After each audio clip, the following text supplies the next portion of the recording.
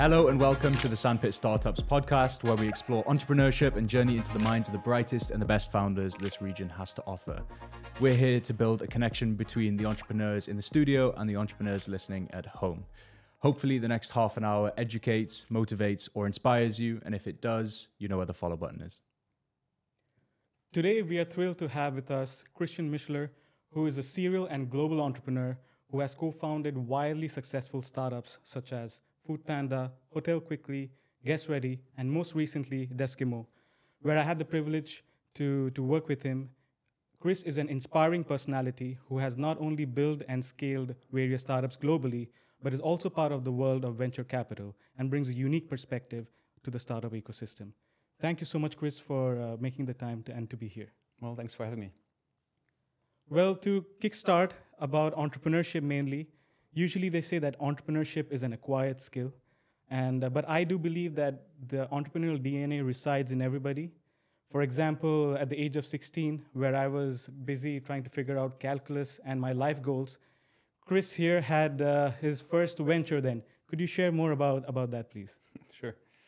Yeah so uh, i was in high school and uh, it was in the dot-com years so that gives away uh, a little bit how old i am um, but so, uh, you know, together with a friend of mine, uh, we decided to start a web design business, and it was in in '98. And um, we didn't really know what we're doing, but uh, all the companies like small SMEs in Switzerland, where I was uh, was born and grew up, they felt like they need a website uh, for whatever reason ever. And you know, we had the skills to kind of like you know design websites and, and put them live and put them onto some uh, hosting providers, and we totally overcharged our clients, and we created something, uh, you know, while being high school students, and, and it defines our high school, uh, which was great. Um, that company, you know, survived for a number of years. Uh, we then had to pivot from like web design into hosting and to voice over IP, but you know, it was, um, you know, we kind of like ran behind kind of like the trends and so like what is coming, and and we just had like sort of an easy way to make some money it was not really um, you know it was a cash cow for us right so it was a lifestyle business mm-hmm. in a mm-hmm. way and but while being a high school high school student uh, that was very good Wow. Well, I know I know some people at school that were selling like sweets, you know, at lunchtime, but that's really something quite stand. different. Sorry. And probably having a lemonade stand in the early days, but yeah, something next level. yeah, this is really different. um, probably fast forwarding a few years into the exciting times, uh, where you co-founded uh, Food Panda.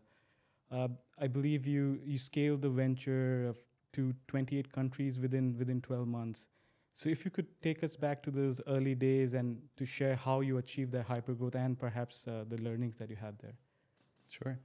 Yeah, so I, I joined Food Panda in 2012 and Food Panda was a Rocket Internet venture and, and Rocket is, as you're probably familiar with, it's, a, it's this large German business incubator that is not the most creative, um, but they're very good in kind of like copying successful models and bringing them to new geographies.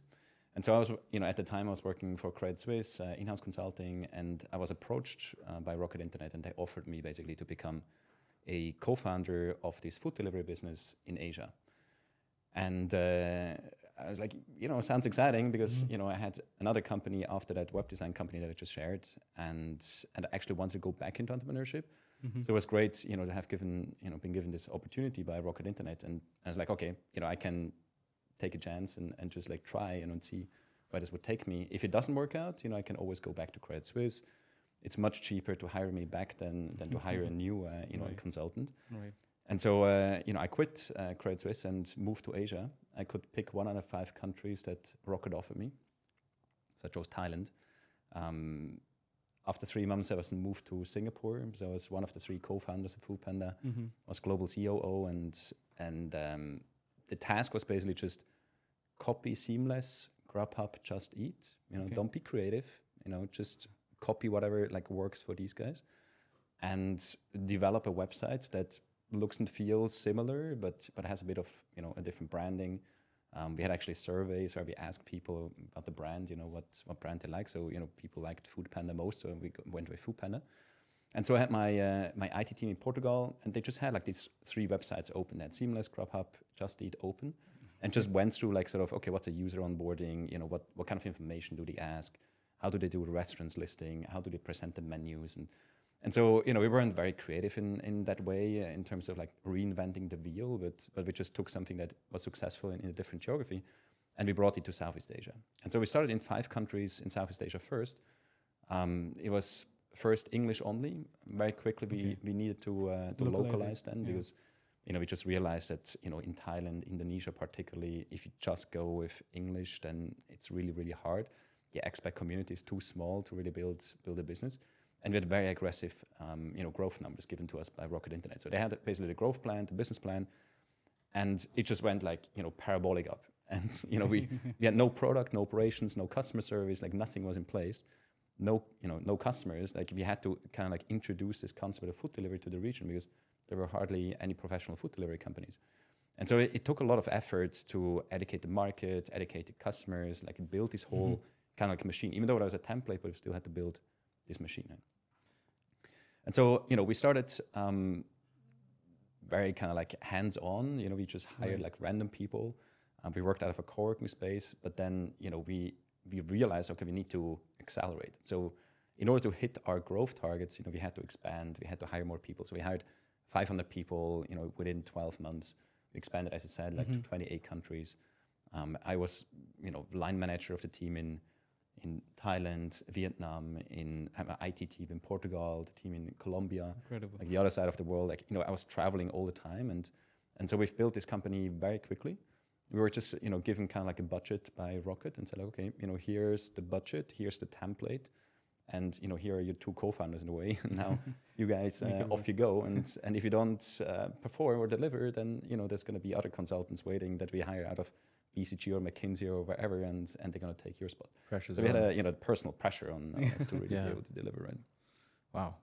I just wanted to take a quick step back. There's something really interesting you said, which was like, you will jump out of your job and actually it will be cheaper just to get hired back. That's a really interesting mentality because I know there's a lot of people out there that have a really secure job and they have a startup in mind that they want to pursue, but they think it's too much of a risk to leave a job.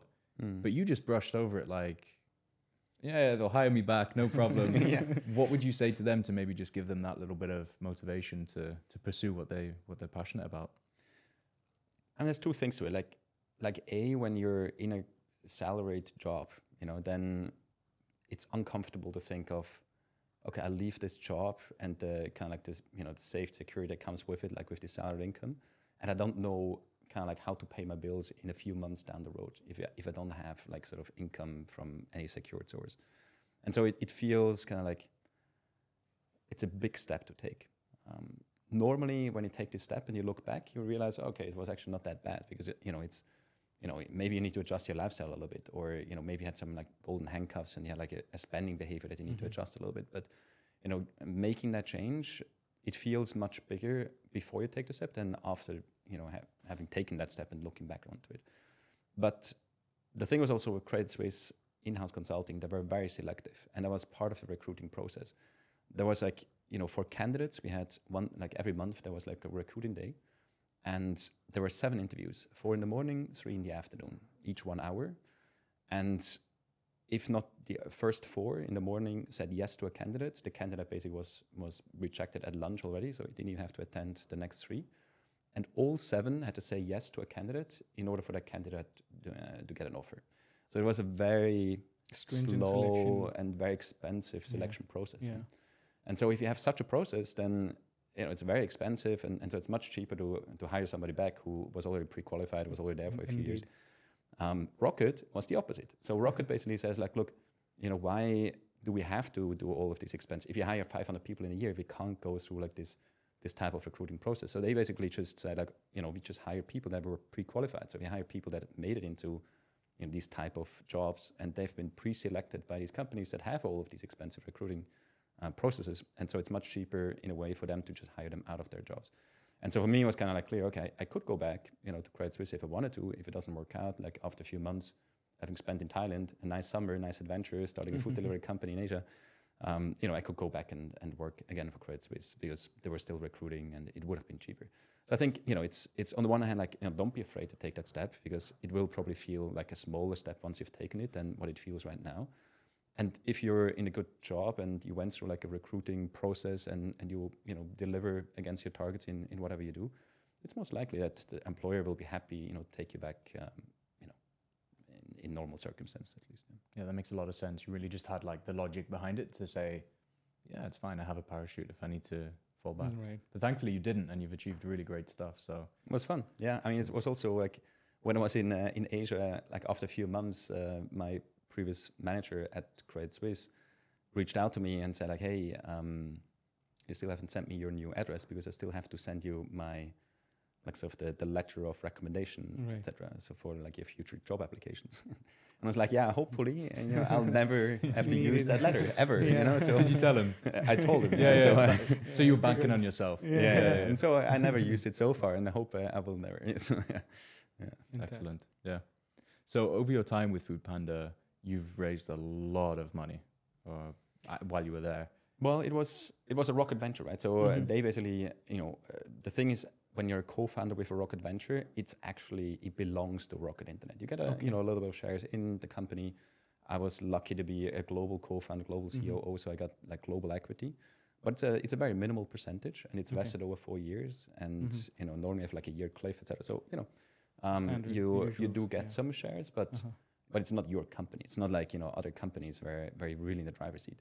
Mm-hmm. Okay. And uh, and so in that way it was actually more Rocket Internet raising Mhm. the money and and so like Oli Samwer and, and his two brothers, you know, they were I think in 2012 to raise two billion for their portfolio companies and there's like That's external crazy. capital that And that's during the early days of Rocket Internet. yeah, there was like the golden years, like uh, you Rocket Internet 2012, 2013. Yeah, that's great. So I was going to ask about what kind of scrutiny you've stood up to when coming to the investors, but perhaps maybe you got a bit shielded from Rocket. Maybe Yeah. they had to deal with that. a Yeah, bit more. definitely. But Yeah. subsequently, you started uh, a few other ventures. For example, Hotel Quickly. Mm. I, I understand that usually uh, startup ideas come from either a life experience or a work experience.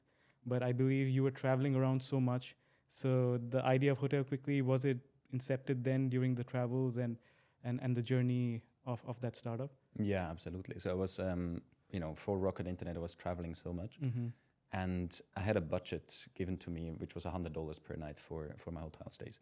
Which you know in Vietnam or Thailand is great, but Yeah. Singapore, you know, you stay in a three star hotel. You know, maybe if there's like a good deal, maybe in a four star, but most like three star hotel. And so I came across Hotel Tonight in the US, and they had last minute discounts through a mobile app. And I was like, wow, this is great because I always travel spontaneously. You know, always last minute. So you know, if this app was in Asia, then for my hundred dollars, I could actually stay in four star hotels, maybe even five star hotels. You know, if Mm-hmm. if they have really steep discount. And uh, they were only in the US. There were just there was the, the Olympics in, in London, so they start to expand to the UK, but, but very slowly. And Asia was not on the on the horizon. And so like, wow, okay, but why not start this ourselves? Like you know, in in good rocket, uh, you know. Uh, uh, terms kind of like you know take something Yeah. that's successful in other, other geography and and proliferate basically that techno- technology and service to another country and so um, I was calling up like a friend of mine uh, from back at university and and pitched him the idea of Hotel Tonight in Asia. And um, it took a little bit of convincing, but then after a few weeks, it's like, okay, I'm going to ramp down everything in Europe. I'm going to move to Bangkok. I'm going to move in with you. I'm going to be Okay. the co-founder and CEO. Amazing. And then I convinced uh, Raphael, uh, who's now Yeah. my co-founder at Deskimo, to also leave Food Panda. He was the MD of Food Panda in Vietnam, to also then join as a co-founder at Hotel Quickly, and uh, and two more co-founders. And so we were uh, five co-founders that then started the business in early 2013, and, and was basically a clone of Hotel Tonight, but Mhm. for the Asian markets, where we sold um, basically same-day hotels with a steep discount. And it's Amazing. because hotels, you know, at, at 6, 7 p.m., they know, you know, will they still sell like another two, three, four rooms? right. If they still have 20 rooms available, it's much better to sell them through an app and kind of like a private sale rather than keeping them empty because an empty room is the most expensive room, right? And so um, it, it worked well. So, you know, we scaled the company then over the following four, four and a half years. Um, and then sold the company in 2017 uh, when it was in 16 countries uh, between Japan and New Zealand. So it covered all of Asia Pacific and, and was doing quite well. Fantastic.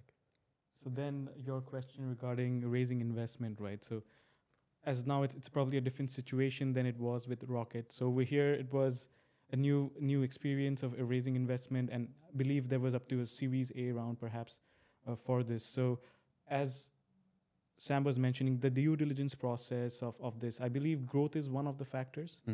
Uh, I understand uh, YC mentions that uh, growth is the best yardstick for product market fit. And is that the same thing that resonates with the founders and, and the investors while uh, pitching it to them? So it's it's very business dependent as well. Okay. Um, you know, some businesses they live off kind of like growth, user growth. Like if you're Mhm. if you have like a social network, like you know, if you had fo- uh, Facebook back in the days, Yeah. you know, they didn't monetize for like the first years and, and didn't even know how to monetize. But but their growth was so you know immense that all the investors were like, yeah, okay, at some point we will be able to monetize this somehow. right? And so it depends. You know, some fintechs they play kind of like that as well. Like it's more about user growth rather than revenue growth. I think um, you know now reality caught up uh, with many of these type of ventures.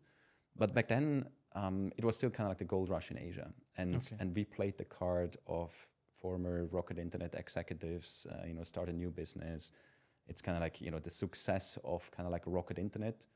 We kind of like you know kind of like projected on ourselves. Mhm. And it's like you know we were that success at Rocket Internet, and now you know you as an investor can join us on our kind of like next journey.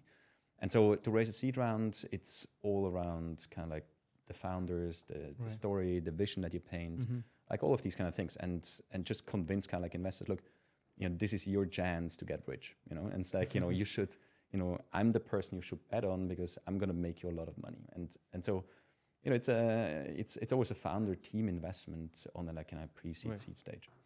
Series A, you know, it's more about kind of like product market fit, and then yeah, you need to start uh, to show traction. You know, does what you've kind of like promised during the seed round does does this you know work out? Uh, does the product see adoption? What's kind of like your customer acquisition cost?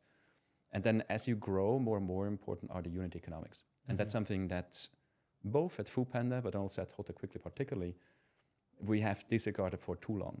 And so you know we had with Hotel Quickly, it's a commission-based business. So we Yeah. basically got a commission of the the booking volume that right, that the- we've uh, transacted. And so the commission that we got on average per unit, we needed three bookings for to repay basically the customer acquisition costs that we had. Mhm. And in many cases, you know, people were like, "Oh, I need a hotel now." They googled, they saw an ad, they downloaded the app, they made a booking, and then they didn't come back. And so we need to kind of like reactivate them because whenever they then thought of like you know making another booking, they're like, "Oh, Booking.com or or Expedia or Agoda or whatever," yeah. you know, was kind of like top of their mind. And didn't think of like, oh, I downloaded this app and maybe you know I could wait until the last minute, but you know maybe there's no room available, but I could maybe save a little bit if something's still available. So they didn't want to take the risk of you know waiting till the last minute to make that booking. And so we had to kind of like reactivate people and give them more vouchers. And with that, Mhm. we continuously destroyed our unit economics, and uh, and it was kind of like unprofitable on the unit level. And so that's that's a big risk uh, that you run when you're just after growth. Okay. You know, growth alone is not product market fit. You, know, Mhm. you should have something that like builds something that that people love. Right? It's uh, you know it's also uh, or what what people want. You know, it's what Have what the YC willingness to says, pay right? For it and yeah, it's like you know, it, it's really like a service that people are like, oh, this is great, and and they want to use it again because it solves a real problem for them. And if it's just like about savings, it's it's really hard. Like if you're not profitable on the unit level in the first booking or the first transaction, it's going to be really hard to make this a sustainable business. And that's something that, you know, we didn't we didn't enforce enough. I'd say like in Mhm. both ventures in Foodpanda. That's why many of them are still unprofitable to this day Right. but then also Hotel Quickly, which you know it, it took way too long to kind of like not only grow the top line but then also the bottom line and Sure. and reach more kind of like profitability. How how were you able to bring that acquisition and reacquisition cost down? Was that more of a like a marketing effort, or was it more sort of like internally how the app may work? How did you approach that? Yeah, so it's often you need to find the right target audience. Like so, because it's a commission business. If you have a, a hotel room in Indonesia Mhm. that costs twenty dollars and you get even get, you get like twenty five percent commission, it's so minimal, you know, that it's it's hardly worth it. Though you know when you focus on say Singapore, where the hotel room is maybe two hundred dollars, then it's a it's a lot higher commission, so you can Yeah. invest more into customer acquisition cost. But then you're up against the likes of Booking Holdings and Expedia, and they have very deep pockets, you know. So you also need to find kind of like the niche keywords that they can bid on. Um, that's why we had an app because we felt Mhm. like when you have an app, you have kind of like that real estate on people's phones, Yes. and so it's easier to also send them like a push notification to reactivate them, so it doesn't cost you that much. And in Asia, people are more willing to download apps than say in the West. Like in Europe, particularly now, like it's it's very hard to actually convince somebody to download a new app because everybody's kind of like you know bored of like downloading apps. Like I have all the apps that I need. Why do I have to download another app? And so now it's actually better to have a web app um, Mhm. in Europe at least, but in Asia people are still you know happy to download apps. They delete them again, but but still you know they're okay to trial.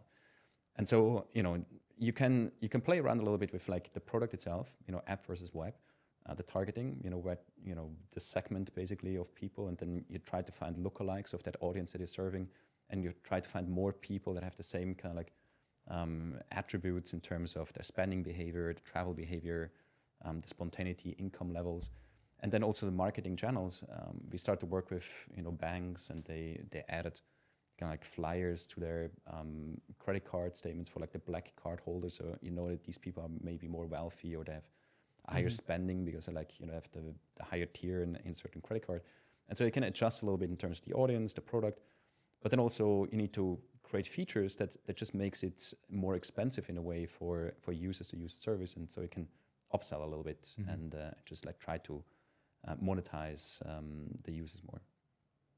All right. Um, moving on to the other hat that you wear as a venture capitalist, you are a part of uh, the Swiss Founders Fund, and um, I remember in one conversation you mentioned about the seasonality in the the, the VC climate and the VC world, which is a founders market and sometimes uh, an investors market. Could you just share the dynamics which which are there, the thought process behind that?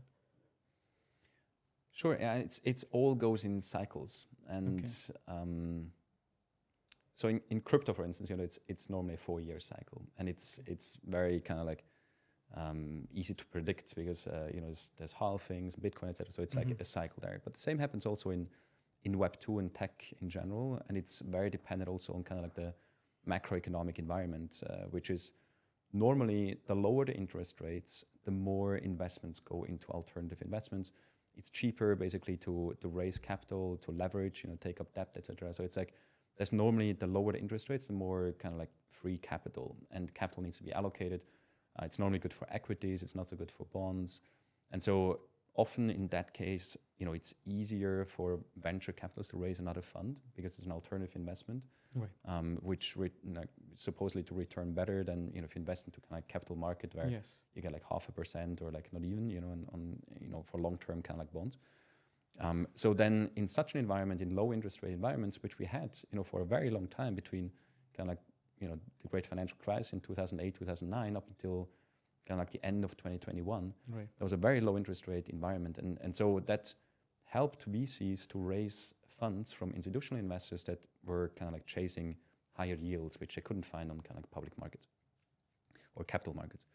And so these funds normally they have a life cycle of say seven, eight years, and then maybe one or two years that they could extend, but they need to deploy. So normally it's like a deployment period of a fund. When they raise a new fund, they have say three years to deploy the capital, and then the remaining kind of like you know life of the fund is just to either do follow-on investments, and then after you know these seven, eight, nine years, they should try to close the fund and then return the capital to their LPs. Or Mhm. normally what they do, they just like you know add another fund and convince their LPs to not you know take the money back and just put it into the next fund, and, and so the funds get bigger and bigger. And so um, we had such a long period where it was easy for VCs to raise capital, and then there was this, in a way, deployment pressure also by these VCs to actually spend you know the money. Normally, you know, this innovation is fairly linear. You know, you Okay. always have kind of like spikes, and right now, you know, it's kind of like the AI spike. You know, there's like so much happening in AI right now.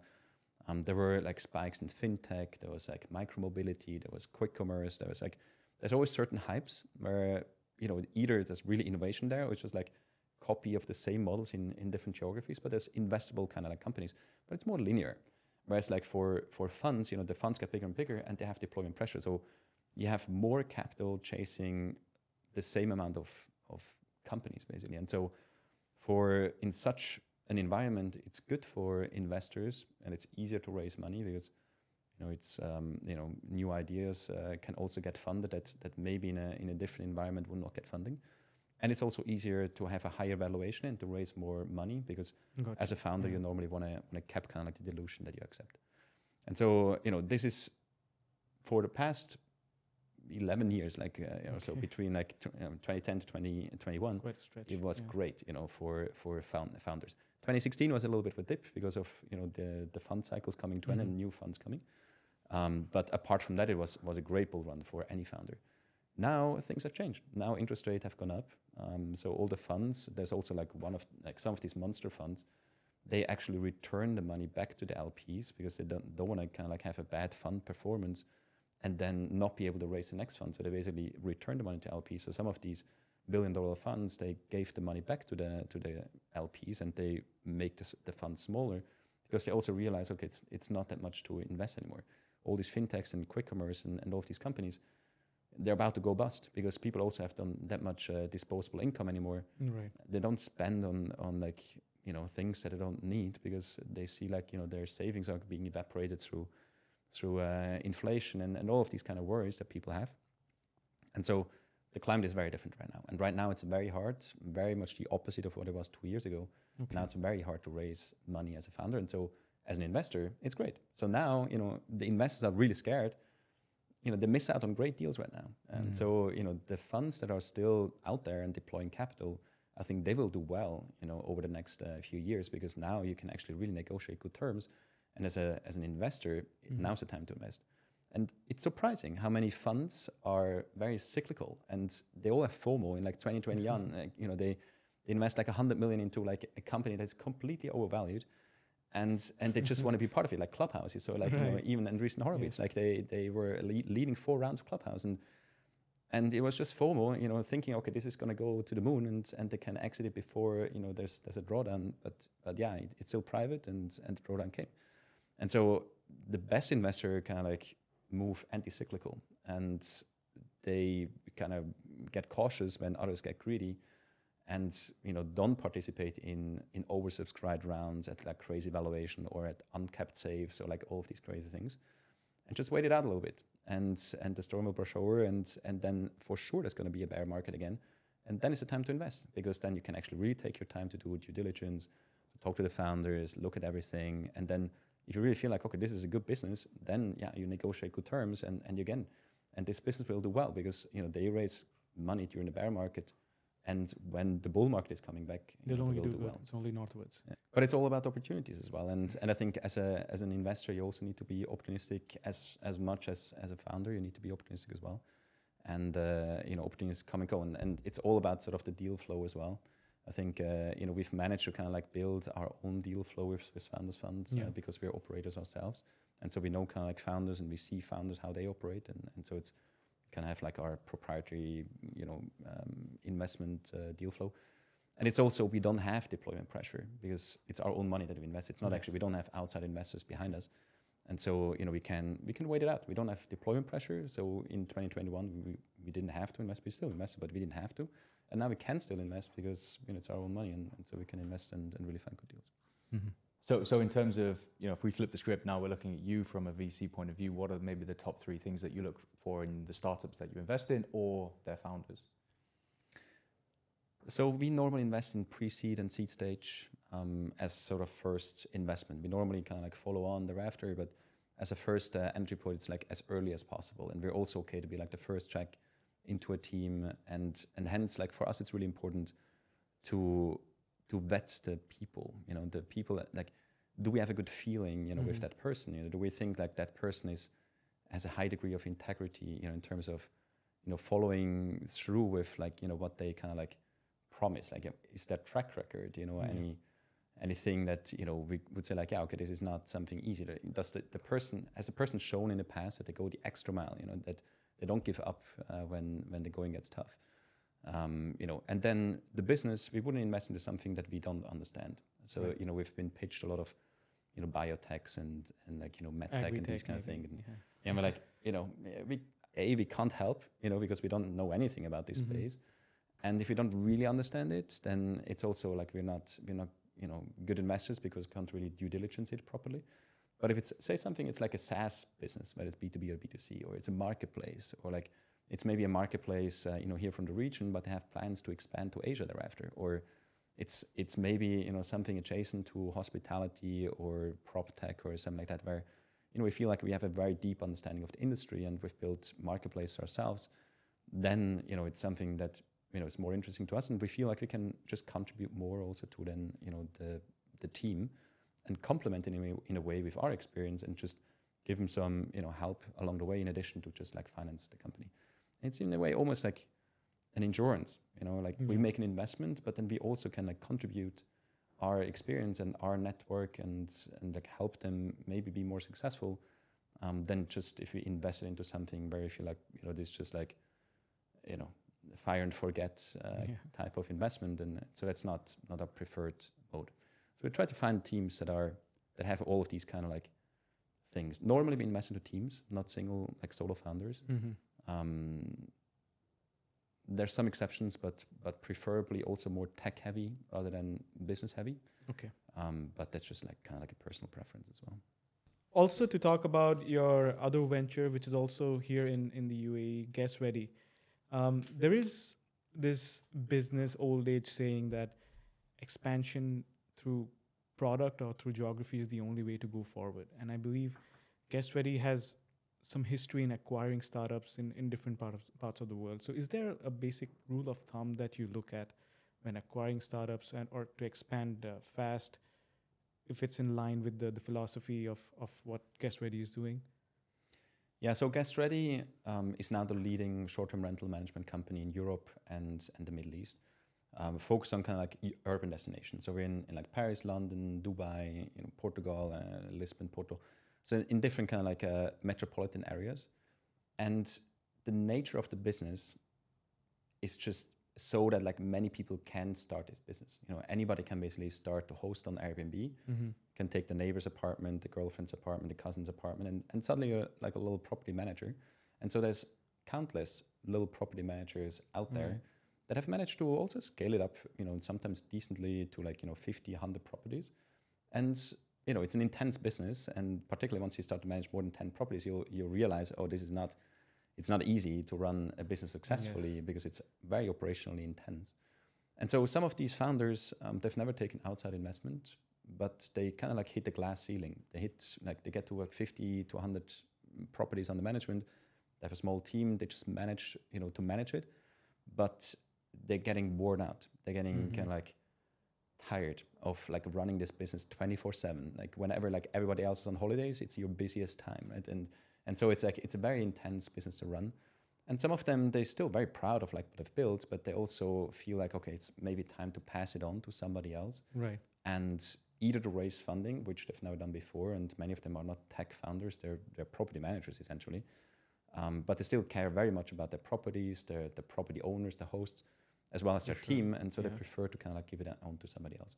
And these are the type of kind of companies that we uh, you know we've acquired in the past where you have a strong founder they know exactly what they're doing operationally but they just like to take kind of like a step back and say like okay now I, I prefer to be part of something bigger.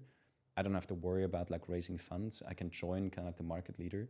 They have great technology you know guest ready um, great processes a back office and all of that stuff and i can just like benefit kind of like of that infrastructure that guest ready has, has built and so with that uh, you know we've managed to consolidate a very fragmented market you know, a little bit and we keep on on doing that because there's just so many small uh, property managers that we can acquire and integrate into guest ready Incredible. So actually, what I wanted to ask about was your um, your latest venture, Deskimo, being um, headquartered in Singapore, but you're you're bringing it over here to the Middle East. What is it in terms of regions that you're that you look for when setting up in a new region, and why why does UAE tick those boxes, and why do you think Deskimo would be actually quite suitable for us out here in the Middle East? So Deskimo is um, a platform marketplace again, and you know we've built a lot of marketplaces, so we kind of have like that marketplace experience. Yes. And we basically um, offer a no membership model to access co-working spaces. So it's on-demand access to co-working spaces, the likes of you know WeWork, Regus, Spaces, like uh, you know these guys. Um, we also have like some really really nice co-working spaces here. Um, you know already signed up. We have like you know Unbox, uh, which is close by here. We have Yes. Nuke. We have uh, Servcorp as well signed up, um, and some others. So uh, it's it's a nice product basically for anyone who's working hybrid or remote. And there's more and more people, particularly also here in the region, that you know spend a few months, uh, maybe in, during European winter, they they spend like you know their winter months here where it's warm. Um, or a lot of people also locally they work hybrid because maybe their office, the corporate office, is in Marina, but they live downtown or the other way around, and they don't want to commute uh, every day and and you know be stuck in traffic jam, and so they prefer to work like you know two three days a week from home, and not everybody has a great home office, right? So it's uh, Yes. it's good to have kind of like near home office space. and because we have like a range of different workspaces, there should be like a workspace is near home to anybody. And so it's a Very much. B2B2C model. So it's a, we sign up companies and these companies then give a budget to their employees so that these employees, they can use, you know, any of these co-working spaces if they want to and need to. If they don't, it doesn't cost the company anything.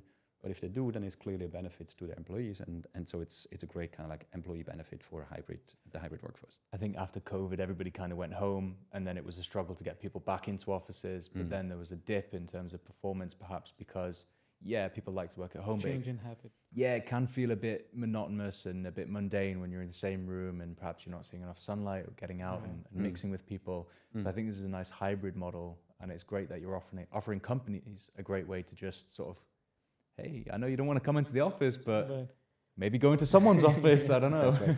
yeah, yeah, exactly. Yeah, And so, you know, we feel like, you know, Dubai is, is a great hub for that. There's a lot of also freelancers, there's people that work remotely, um, you know, also from the US or, or Euro- Europe where they can work remote and Yes. maybe their employers uh, think they're still, you know, somewhere in the UK, but they're actually, you know, hanging out in Dubai. Uh, they just work UK, UK time zone. And, but they need a, like a professional work environment, like the background, the Zoom calls, like, you know, steady internet, like all of these kind of things. Um, but then, so we felt like Dubai is a great place. And because it's a marketplace and the same learning as from, from Foodpanda, if you have a, a more expensive place and because we take a commission, it's just more attractive for us as well. And Dubai is, you know, an expensive place, similar to like Hong Kong, Singapore. And so it's, it's more profitable in a way for us as well to actually run this business here Right. than in Indonesia, where we also, but in Indonesia, you know, you have like 300 million people. So Mhm. it's still it's still an interesting market for us because there's volume. Um, but if there's no volume, then at least you know the hourly rate in a way should be high enough, so that the commission for us is also high enough. So one unique feature about Deskimo is that you can actually stay there by the minute, which is uh, a very important pull or very USP that people over here haven't been exposed to, and I think so that's a great pull that this this app has over over the other ones out here. Yeah, yeah, that's right. It's really um, cost efficient, and and we really focus on kind of like bringing as much value as possible to the users and to the companies, rather than just overcharging them for like a day pass, uh, even though people might only go to like the office for like two or three hours. So, Chris, where can they learn more about Deskimo? Uh, so you know, on the internet, deskimo.com, um, you can just uh, explore. Um, also, if you have a company office or you're running a company, you can learn more more about uh, how we can empower your your workforce. Um, or you can just download the uh, Deskimo app from the App Store, whether it's for iOS or for Android. If you uh, enter the voucher code Chris50, uh, you get 50 dirham off your first visit, and so no strings attached. You can just try it out; doesn't cost you anything if you like it, you know, keep on using it, and uh, and we really hope that we can provide value to you. Awesome. I'll be using that for sure. Yeah, looking forward to be a super user of Deskimo now. Awesome. Well, we're looking forward to seeing what you do with Deskimo. And if it's anything like your track record, it'll be exploding in no time. So Fingers crossed. Yeah, we'll see. thanks for coming on. It's been a pleasure to talk to you. Thank you you so very much, much for having for me. Yeah, making yeah, it was great. Thank you. Thanks. Thank you so much for uh, tuning in to this podcast. We look forward to having you on more such podcasts where we'll have inspiring entrepreneurs talking about their journey. And if you enjoyed this episode, be sure to hit the follow button and share it with anybody you think it would bring value to. Until then, Sandpit Startups.